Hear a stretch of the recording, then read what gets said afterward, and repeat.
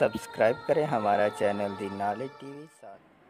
बिसमीम अल्लाम नाजरीन, हाजिर हैं एक नई वीडियो के साथ। सरकारी मुलाजमीन के लिए आज की अहम ख़बरें और नोटिफिकेशन। वज़ी ख़जाना का हैरान कन ऐलान। वज़ी अला पंजाब ने दूसरी मरतबा रिलीफ का ऐलान कर दिया। पंजाब में नौ ईद की छुट्टियाँ। वज़ी ख़जाना मफ्ता इसमाइल ने मुस्तफ़ी होने की पेशकश कर दी ज़राए। मफ्ता इसमाइल पर पार्टी के अंदर से दबाव बढ़ता जा रहा है।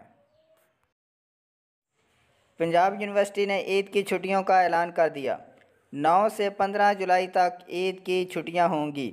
हफ़्ते और इतवार के रोज़ छुट्टी होने की वजह से जामिया दोबारा 18 जुलाई को खुलेगी, यानी नौ छुट्टियाँ होंगी पंजाब यूनिवर्सिटी में।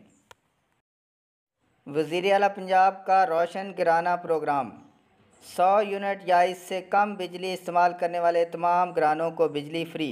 पंजाब के आठ लाख ख़ानदानों के लिए खुशखबरी।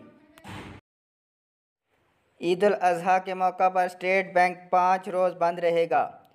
एस बी पी के अलामिया के मुताबिक ईद कुर्बान के मौका पर वफाकी हुकूमत की जानब से ऐलान करदा तातीलत के दौरान बैंक दौलत पाकिस्तान आठ ता बारह जुलाई दो हज़ार बाईस बंद रहेगा। इसी तरह मुल्क में काम करने वाले दीगर बैंकों और मालियाती अदारों में भी दर्जा बाला आयाम के दौरान आम तातील होगी। पाकिस्तान पोस्ट की खाली असामियों पर भर्ती की मंजूरी। दफातर से सात ता नौ ग्रेड के असामियों के लिए पंद्रह जुलाई तक तफसील भिजवाने के अहकाम वजारत मवासलात ने पाकिस्तान पोस्ट की खाली असामियों पर भर्ती की मंजूरी दे दी।